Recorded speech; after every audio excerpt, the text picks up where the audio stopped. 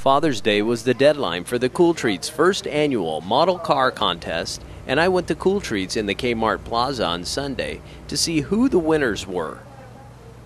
Of the 14 models entered into the contest, three winners were named and their models were on display for everyone to see.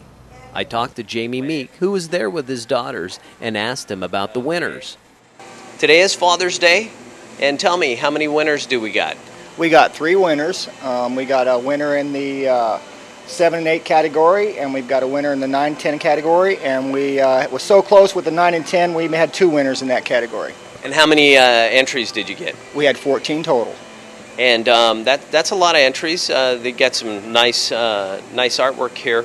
Um, what do the winners get?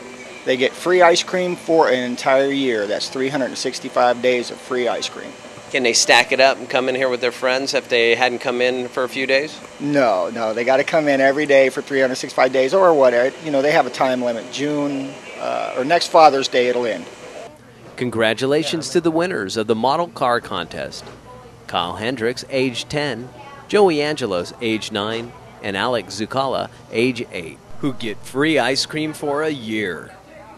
Everyone loves ice cream, and Kool Treats has a flavor for you. Ken McKinney for TV 45.